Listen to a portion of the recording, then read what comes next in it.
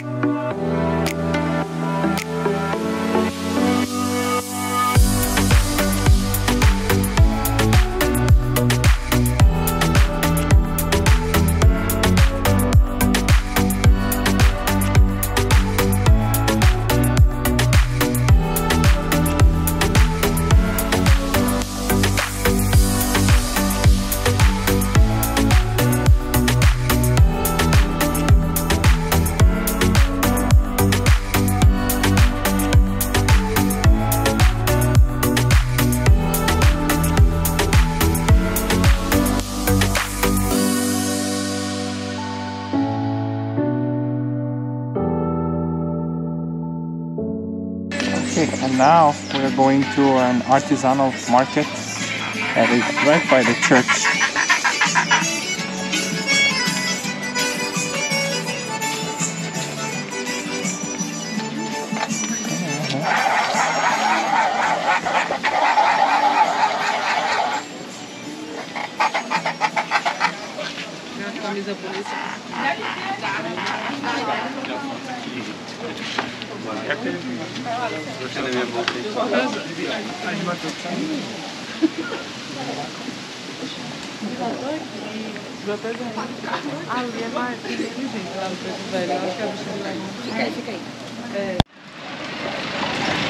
So the city of Olinda is, as I mentioned, part of the metropolitan area of Recife in the state of Pernambuco in Brazil.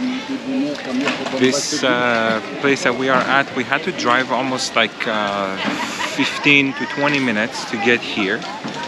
And throughout history, it has been part of the some of the struggles that the Dutch and the Portuguese they had uh, with the territory and controlling the territory. I was just reading a little bit about it online and another very interesting fact about this is that in 1982 due to the rich culture and history that it has.